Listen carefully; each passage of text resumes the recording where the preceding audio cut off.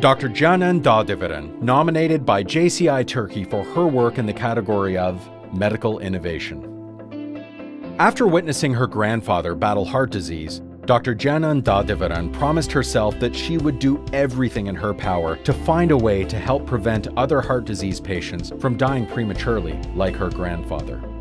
With a long-term goal in mind, combined with her passion and fascination with science and its ability to provide innovative solutions to real-world problems, Dr. Dağdeviren was led down a new path. Celebrated as Turkey's first ever Fulbright doctoral fellow, Dr. Dağdeviren obtained her PhD in materials science and engineering at the University of Illinois at Urbana-Champaign.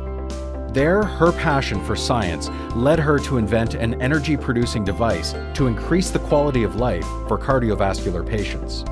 Dr. Dağdeviren's core research focuses on the application of electronic devices within the human body, especially concerning multifunctioning sensing capabilities.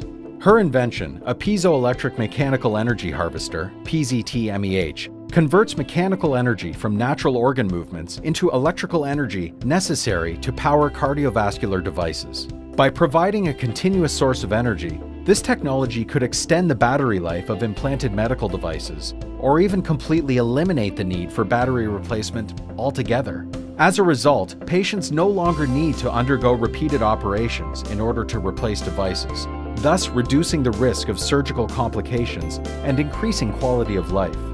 In addition, the system allows for rapid measurements that can help screen for cancer cells during the onset of cardiovascular diseases, helping patients avoid unnecessary biopsies. In the near future, Dr. Dağdeviren hopes to commercialize these technologies and make them available to patients in need around the world.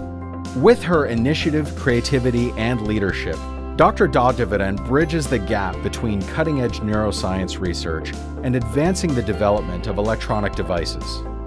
Her breakthrough technology of non-invasive health monitoring systems has the ability to improve the lives of patients and their families around the world by overcoming the limitations of current treatments and technology.